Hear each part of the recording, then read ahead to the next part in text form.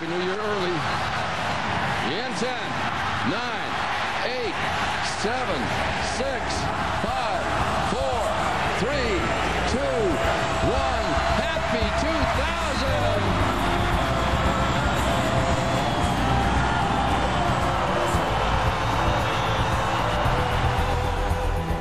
2000! El mundo recibe el nuevo milenio de una manera muy especial, con monumentales puestas en escena sincronizadas por la televisión en distintos puntos del globo.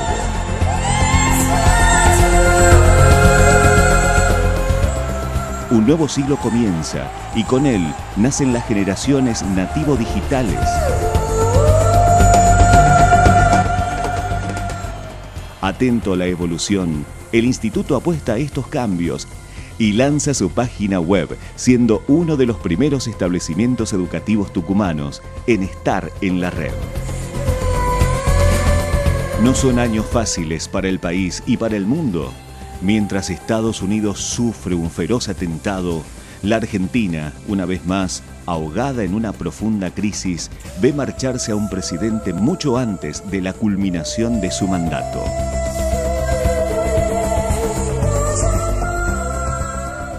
El equipo de conducción, que permanentemente bregó por la capacitación de su personal, extiende la oferta a la sociedad a través de cursos, talleres y postítulos.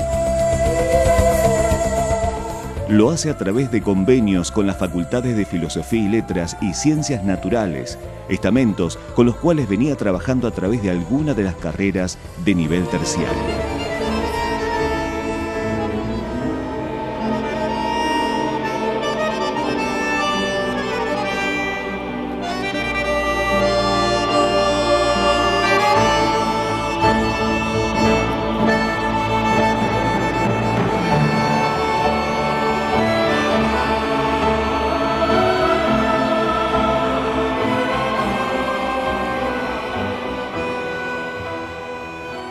Sin lugar a dudas, la presente década está marcada por el protagonismo de los argentinos a nivel global.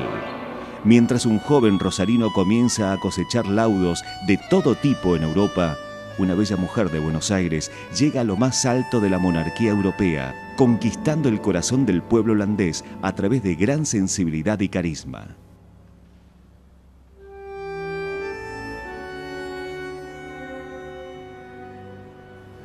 Pero habría espacio para una gran alegría más. Siendo las 15.06 horas del 13 de marzo de 2013,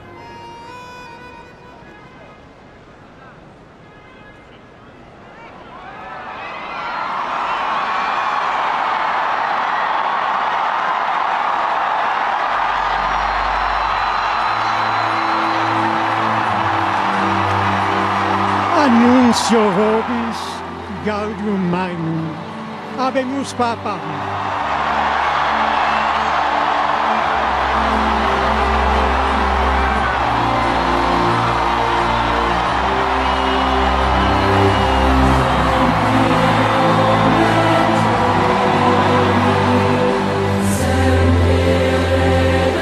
el mundo se conmovió al conocer la noticia que el obispo de Buenos Aires, Jorge Mario Bergoglio, era proclamado sumo pontífice.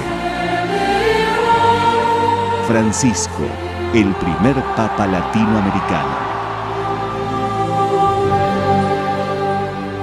Uno de sus pensamientos expresa, no entierren los talentos, no tengan miedo de soñar cosas grandes.